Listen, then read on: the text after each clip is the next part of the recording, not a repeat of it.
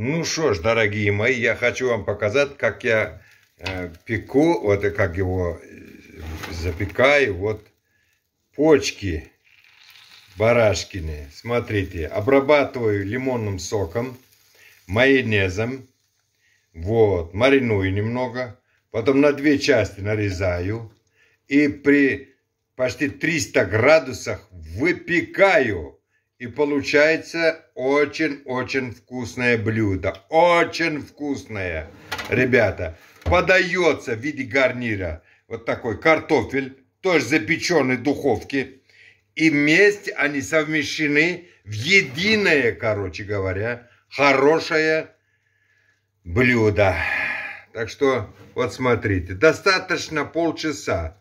И они выпекаются очень-очень хорошо майонезом, лимонным соком особенно получается это нечто.